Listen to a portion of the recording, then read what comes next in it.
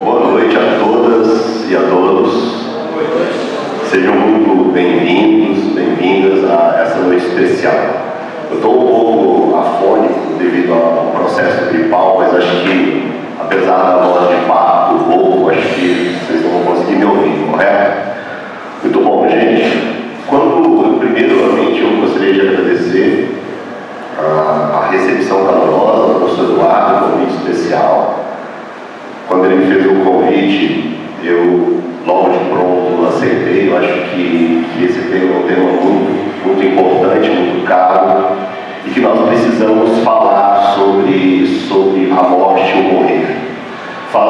Sobre a morte e o morrer é também falar sobre o viver, principalmente. Porque, como o professor Eduardo já nos disse, a morte é certa. A morte é certa. E eu gostaria, inclusive, de falar isso e pedir isso para vocês. Por favor, morra. Morra. Não precisa ser agora, tá? Inclusive agora não. Mas morra, porque se alguém aqui não morrer, eu vou ficar muito preocupado. Então, quer dizer, como eu disse Heidegger, somos um ser para a morte. A morte nos aguarda, mais cedo ou mais tarde. Mas o importante não é morrer, porque morrer já é certo. O importante e o que nós não devemos deixar é viver. Então, antes que a morte chegue, por favor, vou fazer um outro pedido. Esse talvez mais difícil. Viva, viva intensamente antes que a morte venha, pois ela vem. Então, por favor, vamos viver com muita vontade. Muito bom. Eu, eu vou tentar articular com alguns pensadores e eu dividi minha fala em três partes. A primeira parte eu vou tratar sobre a questão da construção, da morte e morrer dentro de uma perspectiva histórica, dentro de uma construção histórica do que é a morte e do que é o morrer. Principalmente a morte para o homem, para este ser humano. Na segunda parte, eu vou tentar estabelecer alguma experiência sobre a questão da morte como algo que é classificado como algo sujo, como algo que é impuro, mas que ao mesmo tempo é desejado por nós, mesmo que de forma inconsciente.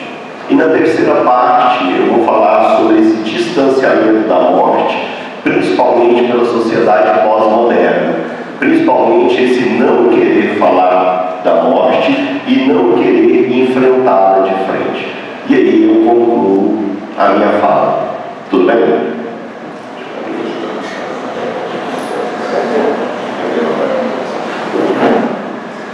Bom. Vamos seguir então. Esse primeiro slide eu falo um pouco sobre essa questão da construção do homem, como esse processo de hominização, como que este humano se torna homem e como que ele se estabelece a partir do momento em que ele se constrói a sua identidade humana e como que essa identidade humana está ligada diretamente com a questão da morte e do morrer. Muito bom.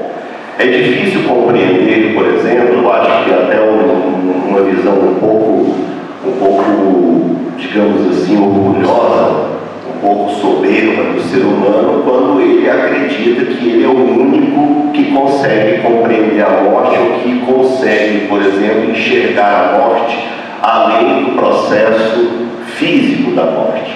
Correto? Mas eu parto do pressuposto que essa visão transcendental sobre a morte, essa visão simbólica da morte, é uma visão, primeiramente, nós podemos dizer, uma visão construída pelo homem, pelo ser humano.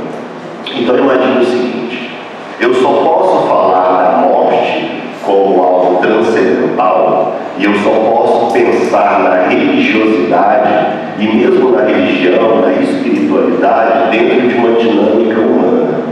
E essa dinâmica humana, ela está ligada diretamente com a evolução deste homem, correto? Então é preciso que este homem se desenvolva biologicamente, é preciso que ele se desenvolva dentro de uma perspectiva também neurológica e é preciso que ele se desenvolva também dentro de um aporte histórico. E aí é o que eu chamo esse desenvolvimento de bio-histórico-social. Ou seja, a construção da morte é necessariamente uma construção humana da morte. Quer dizer, depois desse desenvolvimento cognitivo do homem, que lhe permitiu simbolizar a morte, enxergar a morte para além da perda, da perda física da morte, mas enxergar a morte para além dela, através de um arcabouço metafísico, através de uma estrutura simbólica e, posteriormente, através da construção das religiões. Tudo bem. Passando para, para o próximo aqui, o professor Richard, o professor que defendeu a sua tese na Universidade de Harvard, ele escreveu um livro interessante sobre o título do livro é Pegando Fogo. E ele estabelece essa questão do pegar fogo como a necessidade deste homem, ou a potencialidade deste homem de comer alimentos cozidos. E segundo esse pesquisador, a partir do momento em que este homem passa a comer alimentos cozidos, por exemplo, carne cozida, ele vai justamente dispensar toda uma energia que ele dispensava para outros afazeres, uma energia que vai ser dispensada no processo cerebral. Isto é, a partir do momento em que ele ganha capacidade energética, ele desenvolve um cérebro mais complexo, ele desenvolve potencialidades de criar, por exemplo, cognições interessantes, e este homem, a partir daí, com um cérebro maior e mais sofisticado, ele pode desenvolver cultura. E ao desenvolver cultura, ele também pode desenvolver progressivamente uma visão bastante interessante sobre a morte e o morrer. É interessante pensar aqui, principalmente no próximo, no nosso Levi-Strauss. Levi-Strauss, ele fala uma coisa interessante, vinculando alimento com cultura, e aí a gente vai entender o porquê da morte em Levi-Strauss. Quando a gente pensa o seguinte, o milho, por exemplo. O milho, ele é um alimento da natureza. Ninguém fez o milho, a não ser que você pense aí numa divindade criando todas as coisas, correto? Mas o milho não é uma criação humana. Então tá, o milho é natureza. Da mesma forma que a morte é natureza e da mesma forma que nascer também é e faz parte da natureza. Mas a partir do momento que este homem pega o milho e processa o milho, fabricando a pamonha, este homem, neste momento, fabrica cultura. Então quer dizer, a pamonha não é, não é um alimento natural. A pamonha é uma representação simbólica de uma dada cultura. Então, por exemplo, se você pensa no repolho, se você pensa no salsichão ou no chucrute, você lembra do alemão. E quando você fala, por exemplo, do arroz com piqui, você pensa no goiano. Então quer dizer, a representação da morte é uma representação construída culturalmente. Isto é, a morte é um elemento da natureza, mas a forma com que representamos essa morte, ela é um elemento muito ligado à nossa construção cultural. Ou seja, a morte morrer faz parte de um processo de elaboração histórica, sociológica,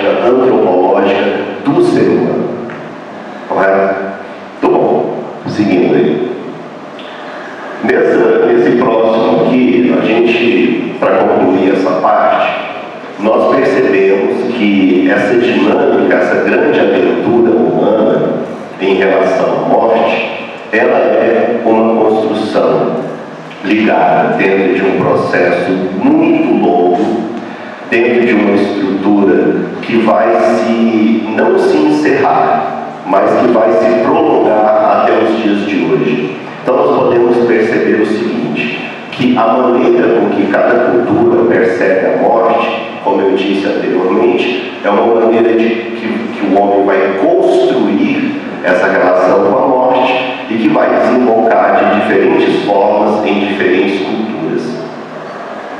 Seguindo. Eu aqui a Vênus. Essa pequena estatueta foi até agora considerada uma das, se não a primeira escultura produzida pelo ser humano, pelo menos até então conhecida. E é interessante que tem muitos historiadores aqui, ela está muito ligada à representatividade do culto à fertilidade. Eu trouxe essa imagem justamente para a gente perceber que a representação dessas populações do Paleolítico, elas vão estar ligadas diretamente aí à questão do culto à fertilidade e a gente percebe pela imagem que os destaques, principalmente dos atributos femininos, como, por exemplo, os seios grandes, as ancas largas, e a gente percebe que também a genitália ela é bem destacada, correto? Então a gente pode perceber que o culto à fertilidade, o culto à vida, o culto do desejo à vida está também ligada ou ligado à integração também com a questão da morte. Por quê? A representatividade da vida é também é também uma representatividade da própria morte, como a gente vai ver nas imagens seguintes. Tudo bem. Essa, essa, esse ser humano aqui, este ser humano, ele foi encontrado na Lagoa Santa, Minas Gerais. Percebam que ele está em uma posição fetal há uma conexão em várias culturas, de vários sepultamentos nessa posição. Ou seja, a posição fetal é o desejo do útero. Não o desejo do útero da mãe, porque isso não é mais possível, mas é o desejo do útero da grande mãe, da mãe natureza. Ou seja, ao nascer, é muito retorno. Busque o retorno à sua casa primordial, que é o útero. O útero materno, que é um lugar de segurança, de proteção, de aconchego, de calor. Quer dizer, o nascer é uma longa viagem, como dizia Murilo Mendes. Murilo vai dizer: nascer é muito comprido então, na realidade, quando todos aqui nasceram, aquilo só foi uma ocasião, correto? Porque na realidade a vida é um nascer eterno. E da mesma forma que a vida é um nascer eterno, a vida também é um morrer eterno.